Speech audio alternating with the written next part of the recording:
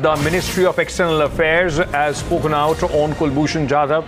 Uh, the ministry has said we have seen reports of Pakistan enacting into law the earlier ordinance that was ostensibly enacted to bring into effect the judgment of the International Court of Justice in the Kulbhushan Jadhav case. Nothing could have been further from the truth. As stated earlier, the ordinance did not create the machinery for an effective review and reconsideration on Sri Jadhav's case. Going across uh, to Srinjoy, our consulting editor. Srinjoy, uh, just give us a sense of how the government of India now uh, further wants to take this entire issue of Kuldeep, uh, Kulbhushan Jadhav.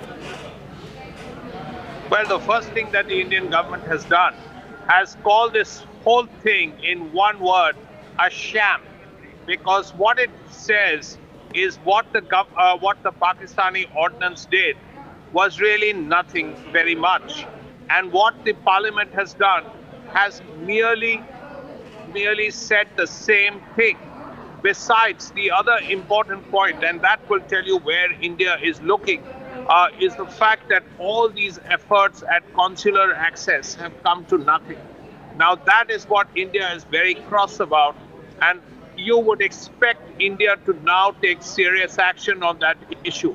India says that apart from all this lo- these laws, which are absolute sham, India says that no consular access has been given for all these years it's hard to even count the number of times India has asked for consular access. And each time right. Pakistan has not done what it should have done. Okay. Uh, consular access is when the person concerned meets with an official of the Indian High Commission in this case separately without anybody All looking right. over their shoulders. And that has not been done in all these years. That's the all right, Srinjoy, we'll have to leave it there. Uh, that's all the time that I have uh, in this uh, edition. Thank you so much, uh, viewers, for tuning in.